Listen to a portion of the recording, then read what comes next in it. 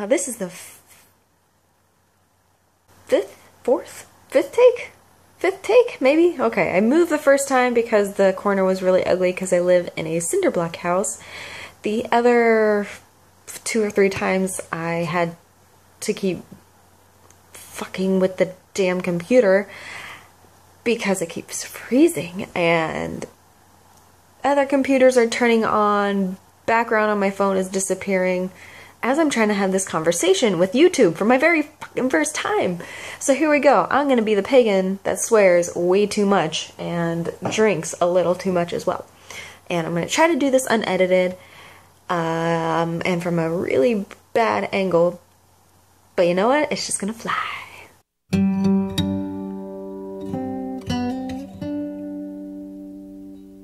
Welcome all. My name is Christina. Um, but I think I'm going to call myself Seka on this channel, S-E-K-A, which in Croatian means little sister. To all, welcome. Thank you for watching this um, rant about my current struggle, current path, and um, I'm talking to you because I'm not really a blogger and I am usually unable to talk to anybody about this because I don't know many people here in California.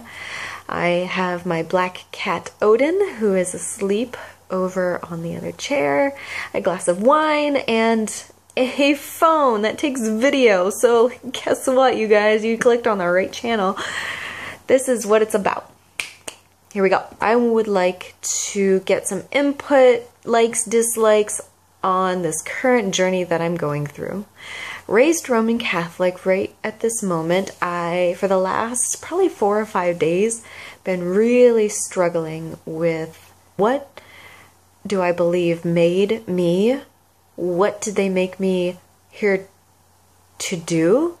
I want to start at the beginning. So I'm going to back up to probably like 10 years. I'm 25 right now. I live in California. I was raised Roman Catholic in Pennsylvania. I'm going to talk a little fast because I feel like I've said all of this already in the last fucking five takes.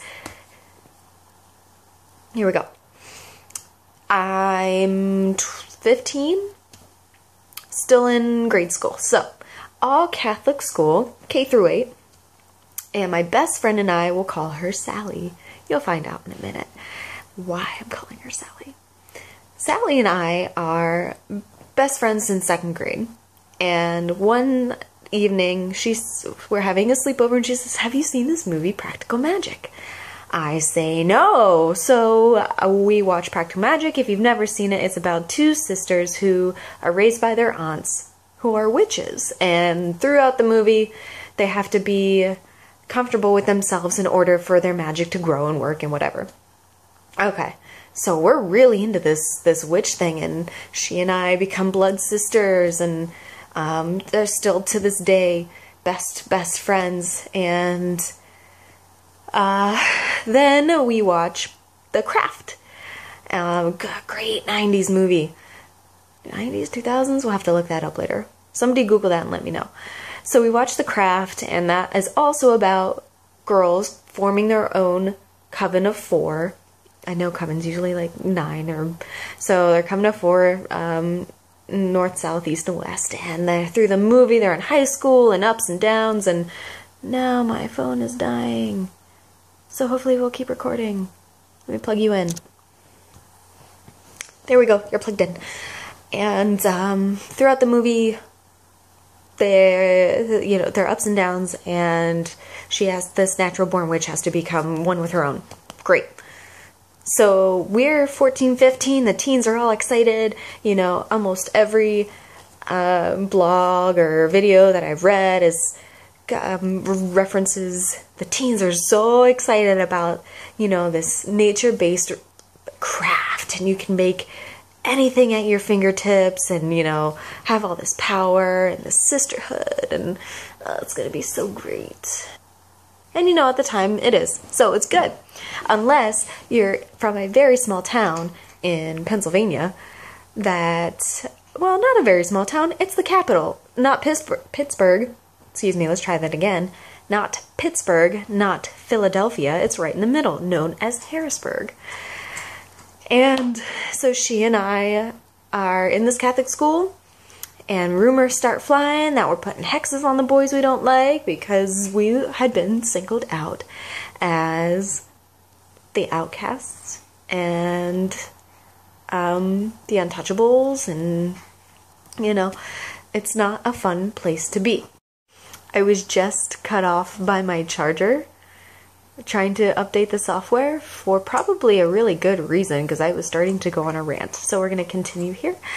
Uh, anyway, we are singled out um, by the principal, pulled into his office, and addressed on the matter of performing witchcraft, and that is, of the devil and a pagan nature. And you are in a Catholic school, and you will not do this, and you will not be spoken about doing this.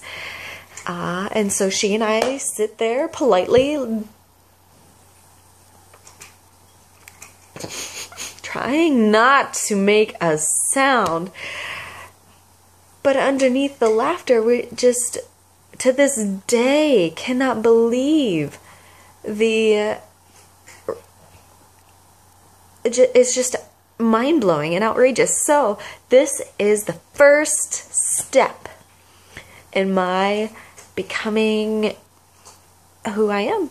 So, fast forwarding a few years, um, she and I were always, always, always interested in in our craft and in this nature based connection with our spirits and in our our souls and um, just putting that good vibration forward.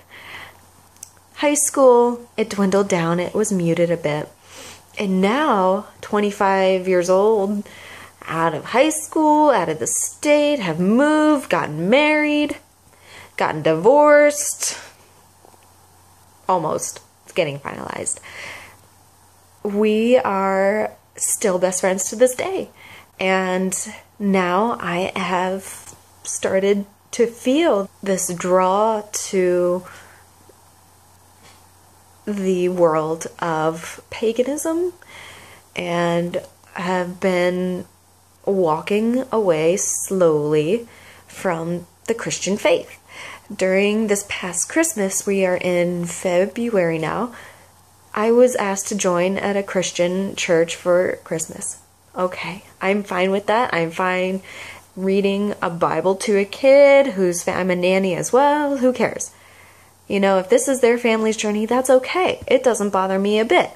My focus was so far off of what was being said at this mass because of how heavily it was enforced in my earlier years. And I feel like watching most of these videos now, trying to learn through other people who have found their way on their path, that it's through this Christian Catholic culture that pushes them away of all these rules and all of this you're going to be damned if you don't do this. You're going to be smited if you don't do this. My little anecdote here I did not want to get married in a Catholic church. I was I would love to have gotten married in my backyard um, or in a forest, whatever.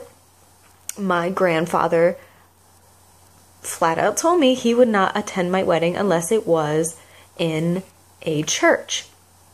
Catholic church.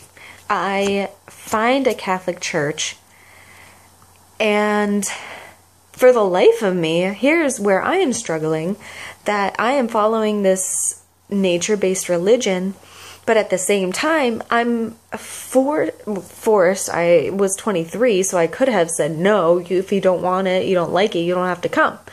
But I didn't because I, never mind Catholic guilt. Have you ever had Croatian guilt on you? That's where I was coming from. So I chose a Catholic church. And I thought that I was, and friends have said, Christina, are you to burst into flames walking through that door out of, out of, you know, uh, humor?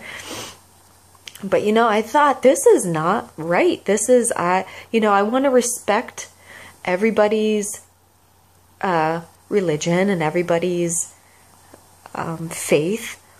And at the same time, I don't want my philosophies or my inward spirit to make fun of this whole process. So basically, during my wedding, I was scared that I would burst into flames. So for this video, I'm going to cut myself short because I feel all the uh, the energies are are rising and I'm getting very emotional about stepping backward on this uh, journey that has brought me here now.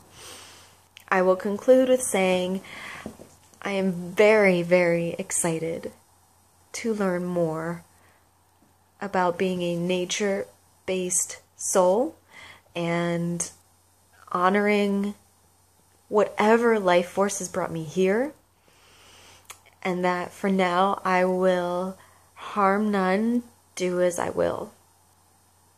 And this is my first step in coming out of the broom closet. And I thank you guys for listening. And I'm going to try to edit this a little bit. So I'll send you off with a cheers. And I'm going to try to do this uh, every Monday um, while I have the house to myself. Blessed be. La Good night.